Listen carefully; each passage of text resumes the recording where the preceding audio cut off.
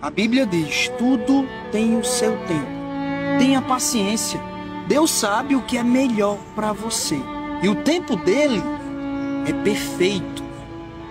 Receba. O amor não é sobre quem te deseja, é sobre quem te prioriza. É sobre quem inclui você na vida, na rotina, no coração. Opção para se envolver tem de monte aí. O que falta mesmo hoje em dia são pessoas dispostas a se comprometer de verdade. Afinal de contas, o amor é escolha. O amor é compromisso.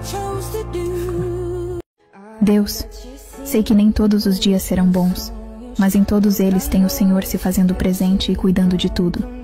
Mesmo que às vezes a vontade seja de sumir, de desistir de tudo, a minha fé se mantém presente e não permite com que isso aconteça.